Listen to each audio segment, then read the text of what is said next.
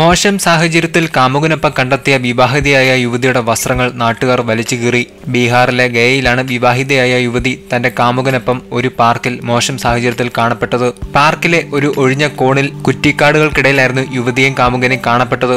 സംശയം തോന്നിയ നാട്ടുകാർ ഇരുവരെയും ചോദ്യം ചെയ്തതിനെ തുടർന്നാണ് കളി വിളിച്ചതായത്. ഇതിനിടയിൽ ചിലർ വീഡിയോ എടുക്കാൻ ശ്രമിച്ചതും ഇരുവരെ പരിഭ്രാന്തരാക്കി.